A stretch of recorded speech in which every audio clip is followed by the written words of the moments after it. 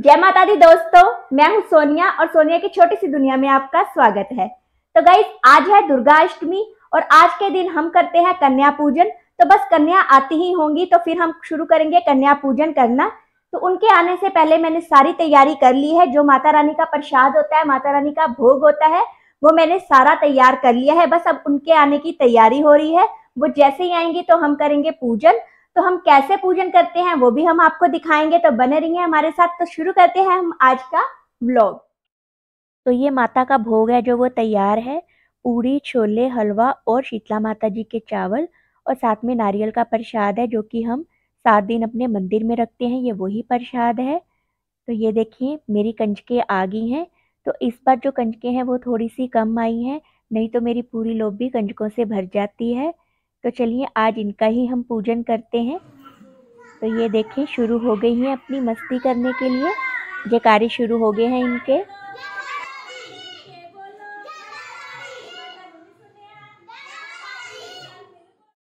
अब मेरे हस्बैंड सब बच्चों को मूली बाँध रहे हैं। तो मेरे हस्बैंड इस दिन का बहुत ही बेसब्री से इंतज़ार करते हैं।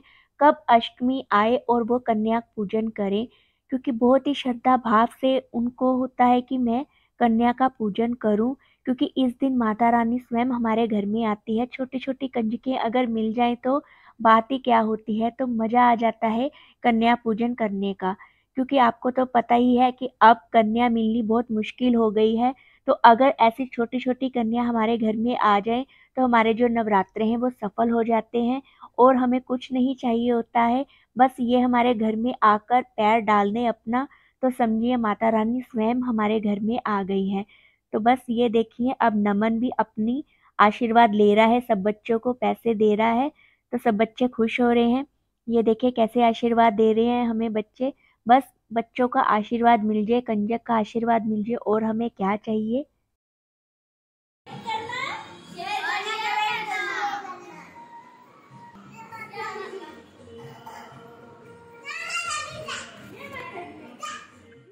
तो ये पंडित जी, ज्वाला जी से जोत लाए हैं हमारे घर में फेरा डलवाने के लिए। तो हमें कुछ पता ही नहीं था कि हमारे घर में माता रानी स्वयं आ रही है।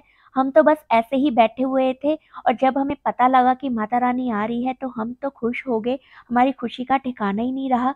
जब जैसे ही माता रानी एंटर हो रही थी, वो मैं वीडियो नहीं बना पाई क्योंकि मैं एकदम से माता रानी के दर्शन करने लगी, मंदिर में ले जाकर माता रानी की पूजा की हमने। तो जब माता रानी को लेके जा रहे थे जोत को तो मैंने अपना कैमरा लिया और वीडियो बनाने लगी। मैंने सोचा कि माता रानी के दर्शन तो आप सबको भी कराने बनते हैं तो मैं आप सबके लिए वीडियो बनाने लग गई। तो अब हम जा रहे हैं दूसरी भाभी के घर में। तो मैं वहाँ पर आपको पूरा नज़ारा दिखाती हूँ, क्या हमने वहाँ पर किया, क्या नहीं किया। तो चलिए आप हमारे साथ।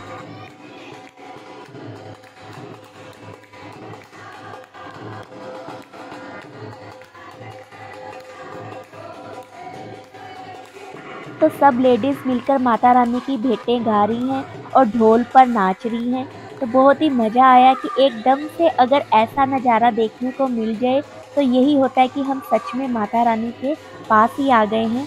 तो इससे बड़ी और खुशी क्या मिलेगी? तो चलिए आप भी देखें, माता रानी की जोत के दर्शन करें और यहाँ पर देखें सब कैसे माता रानी को मना रहे हैं।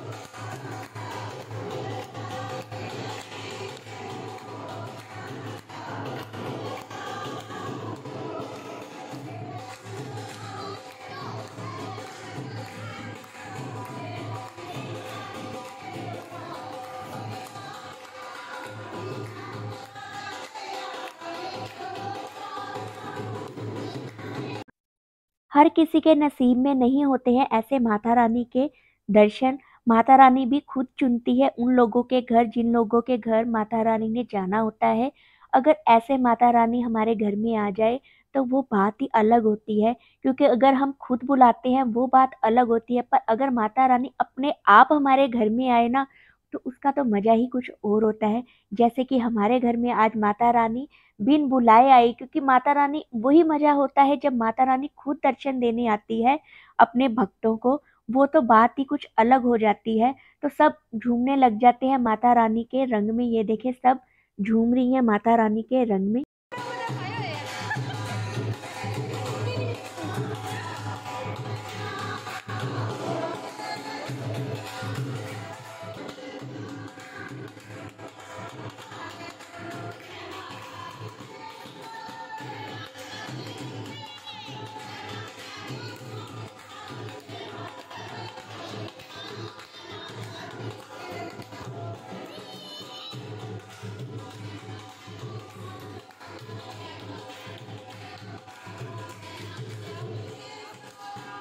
आप भी हमारे साथ मिलकर जयकारा लगा ली माता रानी का।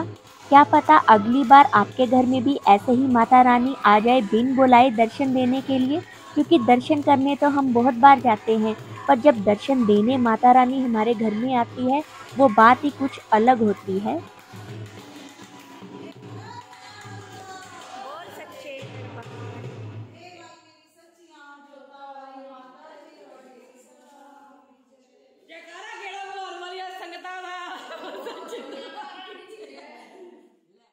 अब पंडित जी लेके जा रहे हैं जोत को वापस अपने साथ। तो हमें बहुत अच्छा लगा कि माता रानी हमारे घर में आई है, क्योंकि ऐसे ही नहीं माता रानी हर किसी के घर में जाती है। माता रानी खुद वो घर चुनती है जहाँ पर माता रानी ने जाना होता है, और उनमें से एक घर हमारा भी था जहाँ पर माता रानी आई हमारे घर पर। ऐसे ही आपके घर में भी माता रानी आए, जैसे कि हमारे घर में आ जाई है, और सबकी झोलियाँ ऐसे ही भरे जैसे माता रानी हमारी भर रही है। अब हम आए हैं शाम के टाइम मंदिर में माता रानी को चुनरी चढ़ाने के लिए। तो चुनरी तो हमने चढ़ा दी है। अब कर रहे हैं हम मंदिर के दर्शन। तो मैं और भाभी आए हैं मंदिर में। सुबह हमें टाइम नहीं मिला मंदिर में आने का। तो हम शाम के टाइम आए हैं। तो इस टाइम भी सब लोग आते हैं मंदिर में घी डालने के लिए जोत में। क्योंकि नवमी तक घी डालते हैं सब लोग। क्योंकि अखंड जोत जलती है नवमी तक तो सब लोग शाम को आते हैं घी डालने के लिए। तो यहाँ पर बच्चे बैठे हुए हैं, प्रसाद दे रहे हैं सबको और साथ साथ में खेल भी रहे हैं बच्चे। तो चलिए हम भी प्रसाद ले लेते हैं और चलते हैं हम घर पर मंदिर के दर्शन करने के बाद।